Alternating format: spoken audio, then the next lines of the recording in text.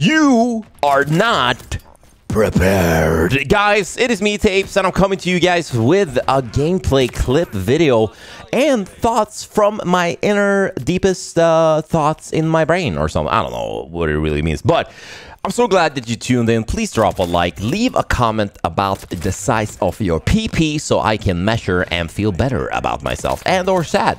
Probably the latter one. Yeah, it's not very big. It is very, very average, but but surprisingly white. Yeah, almost transparent. anyway, I'm super good that you guys are here. I'm having so much fun with Call of Duty. The title is not clickbait. And before we get anywhere, yes, I've done collaborations with Call of Duty and Activision for 14 years or 13 years or something. This fall, they didn't go with me. They went with some fucking buff Swedish influencer that plays Counter Strike. Not a single person in Sweden started playing Call of Duty because of this guy.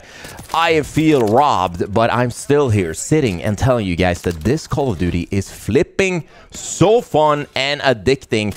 I can't stop playing it. It is ridiculous. I'm doing so many sniping and so many shorts, and especially now with the new season that came out. It's I don't really care that much for the battle pass. You know, you get a bunch of guys, and I have been gifted Black Cell from Activision. At least, you know, they're still giving me that things.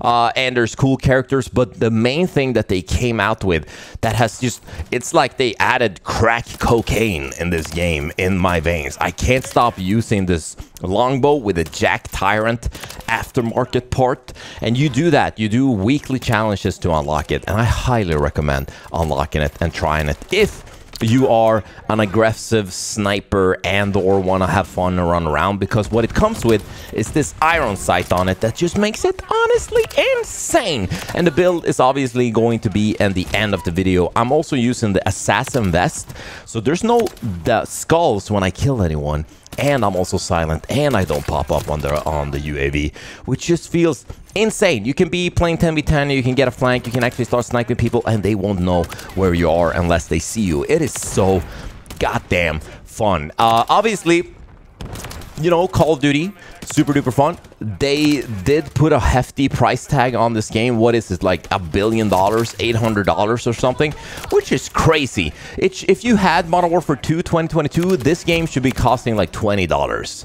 It should just be like $20. And if you want to buy it come brand new, maybe it should be like $60. But that's why I feel like not enough people are playing this game because it's so goddamn expensive. But it is fun. They even released a new map. You saw one clip earlier that's uh, that's actually fun. I applaud you, uh, Activision and Sledgehammer. You actually made a new map in Call of Duty that's fun. Like that very, you know, like Modern Warfare 2 uh, 2022, there was what, one map that was good? And now all the maps in... Uh, in Modern Warfare 3 that are from Modern Warfare 2 2009 are fun pretty much. And then they made Departures which is like Terminal 2 so I'm rambling on. This game is just so fun right now and I have gotten so many clips. And if you want to see more you guys can check out shorts. Or I'm just gonna do a little bit games like this where I or videos like this where I find something cool and I show you guys and I just talk a little bit because I'm I'm having so much fun with it. Uh, and I think long full games maybe that's a little too much like 2010 or something. You guys had adhd now. You scrolled instagram way too much. You guys are barely paying attention now. You're like I wonder what's on TikTok. That's what you're thinking right now. So please don't click out. Uh, please just enjoy the rest of it. It's very, it's almost over. I swear to God. So anyway, before the video ends, a couple of other cool things. I just went to Poland for Katowice. That was dope. I got to uh, see some a little bit of Counter Strike. I was uh, went there with Acer Predator, and I was had very little time to actually check out some uh, Call of oh, Counter Strike, but it was a really cool trip. Uh, second thing is I signed a contract for an office with two of my comedian friends. So we're actually to move in there and we're to build a podcast studio where I'm going to do pods. I think the pod is going to be in Swedish though to starting out, but it will be really fun in the future to to do like English episodes on it at least. So I'll let you guys know once that pops up.